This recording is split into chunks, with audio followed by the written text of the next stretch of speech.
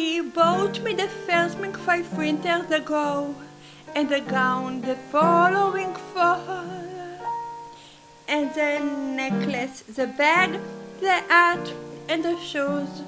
What a generous gift I recall.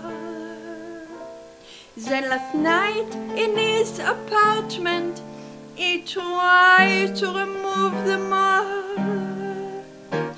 And I said as I went down the hall, Take back your mink, take back your pills.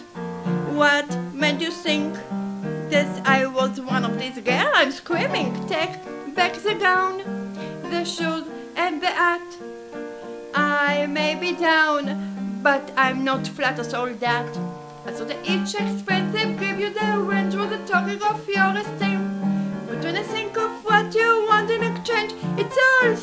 horrible dream. Take back your mink, those old, worn-out spelt, and go.